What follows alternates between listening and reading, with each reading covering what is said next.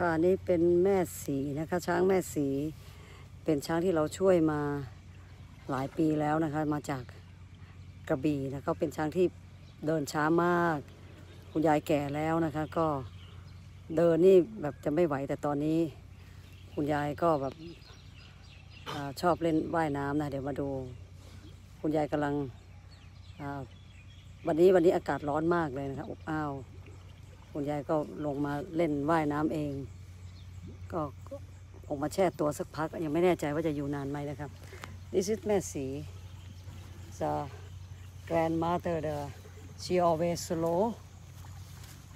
and let's see she just come for a bit and now I think she will come just a little to to relax her leg and now she I think she want to go go back.